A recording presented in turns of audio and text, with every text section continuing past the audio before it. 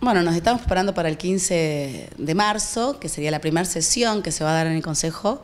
Eh, es una sesión que va a ser especial porque nosotros vamos a presentar un informe de la gestión 2017, de todo lo que hemos hecho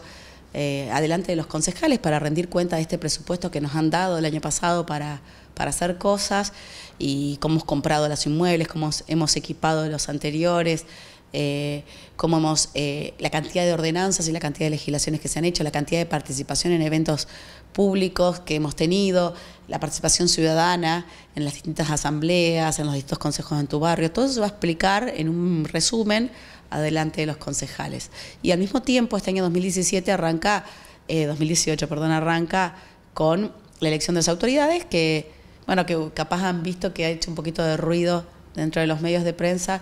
pero que tiene una visión sana y transparente de parte de esta presidencia y de las concejales, que tiene que ver con la igualdad de oportunidades real ¿no? y la igualdad de trato, que tiene que ver con la posibilidad de que el cuerpo, que durante el año 2016 fue dirigido por la vicepresidencia primera estuvo a cargo del concejal Gainza, que es de Cambiemos, y la vicepresidencia segunda a cargo del concejal Ríos, eh, que es del Frente para la Victoria, que el segundo año, en 2017, tuvo de vuelta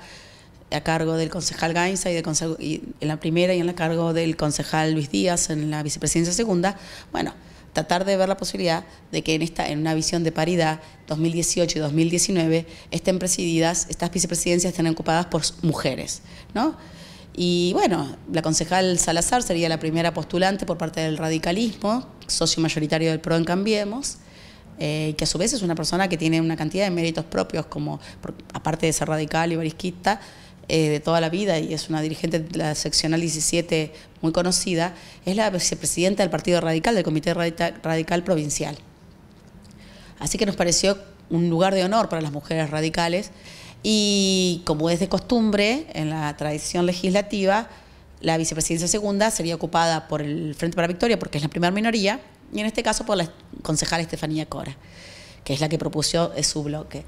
Así que las concejales consiguieron el consenso. La concejal Fadel dice, bueno,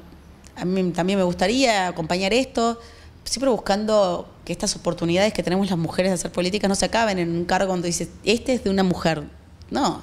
este no, capaz no tiene nombre mujer o varón y poder buscar ese lugar y nos parece simbólicamente muy importante tener una actitud positiva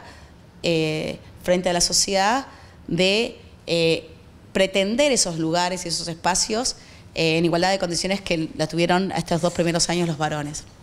Así que bueno, estamos trabajando con eso, encontramos este interés común entre todos los, frentes, ¿no? entre todos los, miembros de mujeres del Consejo Deliberante, así que me parece que es de vanguardia eh, espero que esto sea por unanimidad y que esto refleje un consenso de todos los concejales y de toda la dirigencia política de que se puede hacer, de que las mujeres llegó también su tiempo y que eh, habiendo habido dos años todos solamente varones, los dos años que restan es válido y bueno que nos toque a nosotras. Así que bueno, eh, ojalá tengamos el acompañamiento. Y, bueno, va a ser en todo, si esto ocurriera, va a ser un día para conmemorar y para celebrar, ¿sí? Así que bueno, muchas gracias por estar y feliz Día de la Mujer a todas.